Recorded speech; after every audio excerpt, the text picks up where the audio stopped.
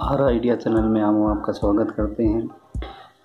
चलिए, आज हम टिकटॉक के बारे में कुछ जानकारी, डन जानकारी बताएँगे आपको।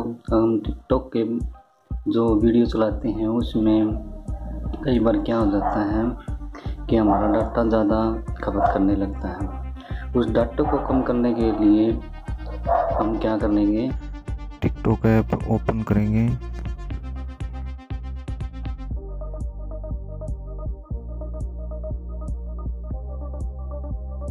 ये थ्री डॉट पे क्लिक करेंगे।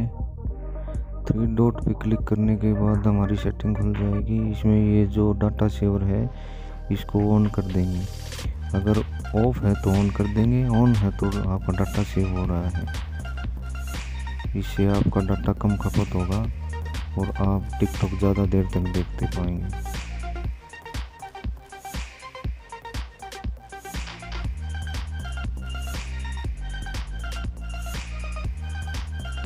अगर वीडियो अच्छी लगे लाइक शेयर एंड सब्सक्राइब ज़रूर करें।